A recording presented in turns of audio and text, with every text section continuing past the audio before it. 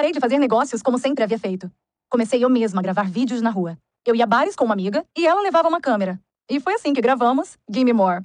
Comecei uma nova leitura e eu já dei uma adiantadinha nela, então vou comentar com vocês sobre. Só pra atualizar aqui também, eu contei lá no Instagram, mas... E também no Scooby, tem os, os links aqui na descrição. Mas eu abandonei Jane Eyre temporariamente. É um livro que eu quero voltar lá em algum momento, mas que agora não tá funcionando pra mim, porque eu tô numa época, tipo assim, ó, acabando a faculdade, entregando TCC, trabalhando, estagiando, tipo, mil coisas na minha cabeça. E aí eu não tava conseguindo evoluir com Jane Eyre porque tava muito parado pra mim, sabe? E eu senti que eu precisava ler um romance adolescente, bem levinho, que só fosse distrair minha cabeça mesmo. E aí chegou pra mim aqui esse livro, que é Imogen, obviamente, e eu amei essa capa, achei a coisa mais linda do mundo, é da HarperCollins. E ele tem uma, uma, um estilo de história que no fim de cada capítulo tem troca de mensagens, tá vendo? Um livro mega, mega, mega levinho de se ler. E basicamente vai contar sobre a Imogen, obviamente. tá, não foi proposital isso, mas enfim. Vai contar sobre a Imogen. Eu não sei como é que fala o nome dela, se é assim, mas eu tô falando assim. E ela tá naquele período, tipo, acabando a escola, indo pra faculdade. E aí ela passa um fim de semana no campus da faculdade que a melhor amiga dela estuda pra conhecer ali um pouco como é que vai ser e tal. Só que aí tem um super mal entendido, é, que as pessoas lá acham que ela é, é bi, porque a melhor amiga acabou falando que elas eram namoradas, enfim, uma situação lá. E aí que né, ela é hétero, mas tipo, ela é rodeada por pessoas da comunidade LGBT, QIAP+.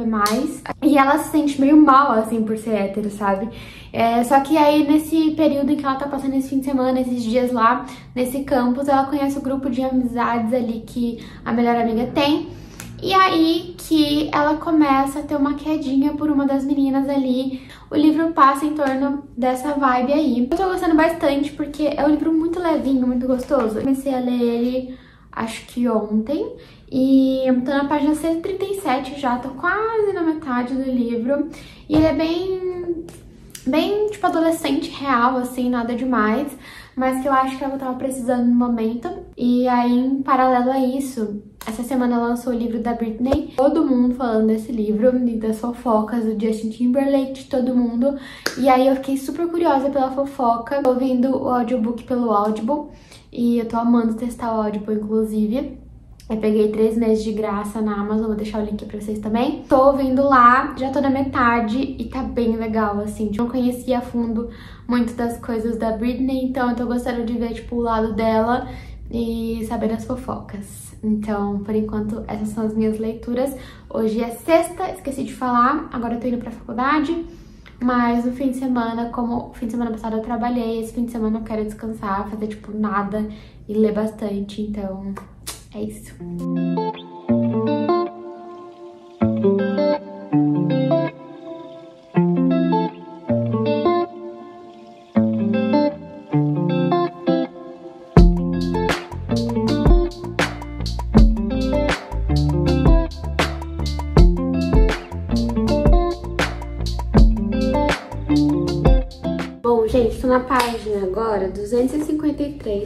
tipo 100 páginas pra eu acabar, eu acho que eu termino hoje porque tá fluindo bastante. Mas a Imogen, ela tem uma melhor amiga, uma das melhores amigas dela, que é a Gretchen. E cara, essa menina é muito chata, ela tá me irritando muito, porque tudo que a Imogen faz, ela tipo quer problematizar e, e fica fazendo a Emory se sentir culpada o tempo todo. Então ela fica o tempo todo se cobrando de coisas que ela nem fez e isso tá prejudicando muito é, a fase em que ela tá vivendo. E, nossa, tá me irritando muito essa menina, essa, essa amiga dela. No geral, eu quero que dê certas coisas logo. Hum, terminei o livro, gente. Que sábado preguiça, sério. Olha como é que tá o tempo aqui. Super nublado e preguiçoso, mas terminei o livro. E agora eu vou ouvir o da Britney, né? Mas só pra atualizar vocês. Nossa, e essa sobrancelha, gente? Deixa eu arrumar enquanto a gente conversa. É, esse livro foi muito fofo, muito fofo, sério. O final dele foi muito gostosinho, eu amei. Tudo se acertou no final, fiquei super contente, foi uma vibe super gostosa. É, ele realmente é um livro, tipo, de descobertas e tal. É, e a nota da autora no final fez tanto sentido e foi tão legal, sabe? Então, eu amei, muito fofo. Eu acho que vou dar umas três estrelas pra ele, mas foi bem fofinho mesmo. E agora eu acho que eu vou ouvir o audiobook da Britney. Não sei se eu termino hoje. Eu tô muito afim de ler. Nossa, tô com sono. Tô afim de ler nada, né? Tô afim de dormir, isso sim. Na verdade, tô afim de comer besteira hoje, de comprar chocolate e tal. Enfim. Mas eu tô afim de ler. Deixa eu mostrar aqui pra vocês. Mentirosos. Muito afim de ler ele. Mas vamos ver, né? Quero terminar da primeira pra não ficar acumulando um monte de livro. Mas é isso. Gente, deixa eu falar com vocês enquanto o senhor, meu marido, Guilherme, está demorando pra vir. É... Ainda é sábado, mas agora é sábado à noite, como vocês podem ver. E desculpa pela iluminação, mas enfim, é o que deu pra gravar agora. Terminei de ouvir o audiobook da Britney, eu tava, tipo, no meio, e ele não é muito longo, então eu confesso que eu dei ali uma sonequinha de... Deixa eu ver se é aqui o carro. Não, achei que fosse reconhecido. Hum. Eu tirei uma sonequinha de uns 10, 20 minutos enquanto eu ouvi o audiobook, mas daí eu voltei pra onde eu tava, enfim. Porque, né, ouvir o audiobook, tipo, sem fazer nada, só ouvir, me dá um pouquinho de sono às vezes, enfim. E aí, mas eu amei. É, eu, eu, sou dos anos 2000, então no auge da Britney eu não acompanhei de fato ela, assim, né? Não, não acompanhei a carreira dela porque eu era muito criança e depois sei lá, só passou assim, mas eu obviamente conheço as músicas e tal, mas não sabia detalhes da vida dela, então foi muito legal ver essa outra, outra perspectiva da história é, e conhecer mais dela por tudo que ela passou. E eu gosto muito de livros assim, na real, porque eu sou uma pessoa muito curiosa em relação a bastidores, sabe? O que acontece por trás das câmeras, o que a gente não sabe. Então eu gosto de livros assim que mostram uma outra versão. É, infelizmente foi uma versão ruim, assim, né? foram coisas ruins que aconteceram com ela. De qualquer forma, eu achei muito corajoso da parte dela publicar esse livro. É lógico que a gente não sabe 100%, assim, né? Uh, porque a gente não viveu, a gente não tava lá, a gente não passou pelo que ela passou, pelo que a família dela fez, enfim. Mas eu gostei muito de ver a perspectiva, perspectiva dela e foi bem legal. Então, e aí, consegui finalizar os dois livrinhos que eu queria no fim de semana. Não sei como vai ser amanhã, de, de manhã vai ter... Amanhã é domingo, né? Amanhã, de manhãzinha vai ter o jogo do Gui. Vou assistir. E à tarde acho que não vou fazer nada e eu pretendo pegar mentirosos, eu acho. Vamos ver como é que vai estar a vibe de amanhã. Se eu vou ficar sem fazer nada mesmo, enfim, mas eu vou mostrando pra vocês. Música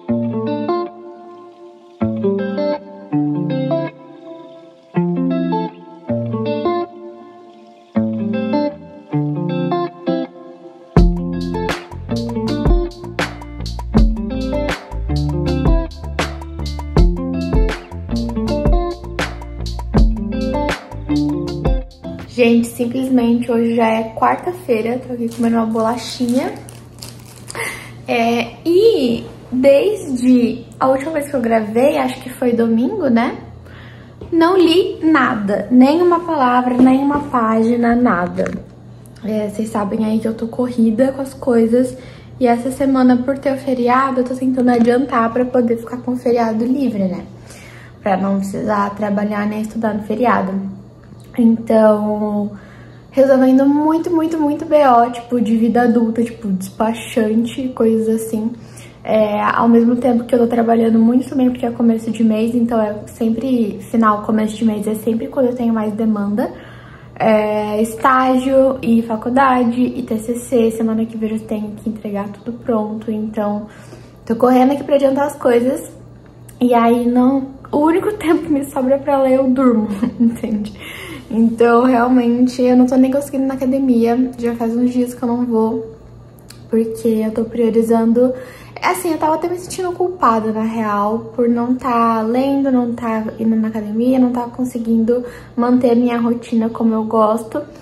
Mas ao mesmo tempo eu tenho que. Eu tô tentando entender e colocar na minha cabeça de que são fases e que tá tudo bem. Às vezes a gente precisa priorizar algumas coisas e outras acabam ficando de lado na nossa vida. Não tem como fazer tudo perfeito ao mesmo tempo, dar conta de tudo. Então é algo que eu não tô mais me culpando, sabe? Então não tô me forçando também a fazer nada, porque senão eu ia ficar assim mais exausta do que eu já tô. É, se eu tivesse acordando mais cedo para ir pra academia, se eu tivesse indo dormir mais tarde por estar lendo. Então, realmente, a rotina tá um pouquinho diferente, mas teremos atualizações no feriado. Eu queria postar esse vlog no feriado, mas acho que vai ser no fim de semana mesmo, porque eu quero terminar mentirosos nesse vlog com vocês. Então, é isso, é só pra atualizar um pouquinho da minha vida aqui também. Feriado hoje, passei a manhã toda organizando a estante. Olha só como ela ficou linda. E o processo todo está lá no TikTok, estante de romance. Vão lá ver. E aí, cuidei da casa, fiz almoço, não sei, e agora vou ler.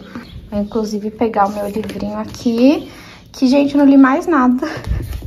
Desde a última vez que mostrei pra vocês. Olha, um total de 26 páginas. Mas agora eu vou continuar. Tô aqui na página 62 e eu confesso que eu não sei pra onde esse livro vai ir. Eu não li a sinopse dele, não sei muito bem, eu achei que fosse tipo um suspense, mas até agora é uma história meio aleatória, tipo, são um grupo de primos que são se encontram no verão, assim, tipo uma casa de praia, e dentre eles tem um, tipo, amigo que ela se apaixona e ele corresponde, mas não corresponde, do nada ela sofre um acidente, ele some, e eu tô tipo. Aí ela passou um tempo na Europa com o pai dela. Tá, tá tendo umas viagens, assim, tipo, eu não tô entendendo muito bem a real do livro, sabe? Mas eu espero que ao passar das páginas eu compreenda melhor o que tá rolando aqui, porque até então tá bem nebuloso na minha cabeça, tipo, sobre o que é o livro que vai acontecer, se é se essa narrativa meio meio doida, com vários personagens e tal, um pouquinho confusa, vai fazer sentido, então tem que ler pra entender, né, pra saber o que vai acontecer. Só na metade do livro que eu fui começar a entender o que que tava rolando, porque era muita informação aparentemente solta, assim, sabe? E agora eu tô na página 205, faltam umas 65 páginas pra acabar. Eu tô muito curiosa, porque, tipo, eu comecei a entender para onde a história ia, mas eu tô formando várias teorias na minha cabeça e eu tenho certeza que no final não vai ser nenhuma delas. Então, tô curiosa pra saber o que vai acontecer, sabe? Espero que eu goste. Gente,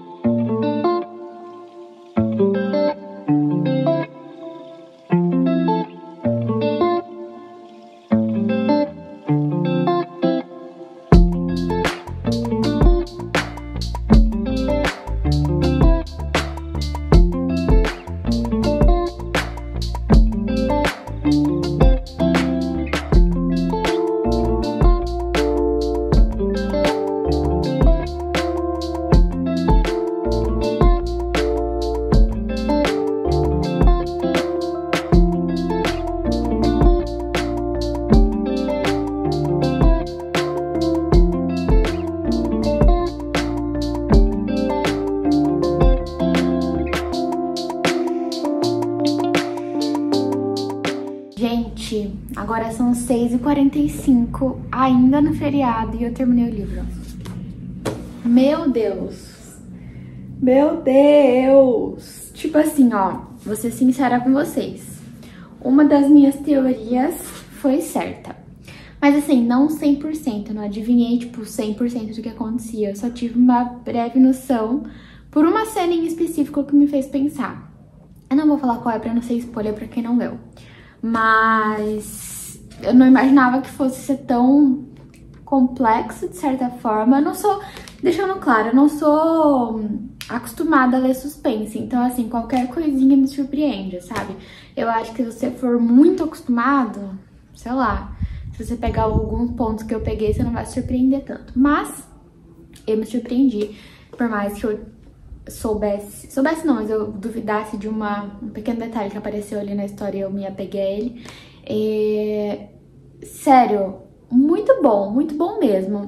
Eu acho que eu só não dou, tipo, cinco estrelas, porque até a metade estava muito confuso. É, eu entendo que, de certa forma, é o objetivo do livro pelo plot final. Muito bom, gostei muito. Eu acho que vou dar umas quatro estrelas. Fiquei, assim, sem, sem palavras, sem reações pra esse final. Eu gostei porque, ao mesmo tempo que é um suspense, assim, né? Eu não sei se é bem, tipo, tratado como suspense. Eu acho que sim. É um suspense, assim. E... Mas, ao mesmo tempo, ele tem um drama, ele tem uma questão familiar de vingança, de vingança não, mas tipo assim, de poder, de, como é que se diz? De ganância, era ganância, não vingança que eu queria falar, de ganância, de poder e tal, é, de justiça, enfim. Então ele tem essa parte dramática. Agora eu entendo porque algumas pessoas falam que choram no final. Eu não cheguei a chorar. E é isso, esses foram os livrinhos deste vlog. Já vou escolher o próximo livro que eu vou ler, porque afinal entraremos no fim de semana, né? Depois desse feriado. E eu quero aproveitar para ler bastante. Então, obviamente, vai ter mais vlogs para vocês. E é isso!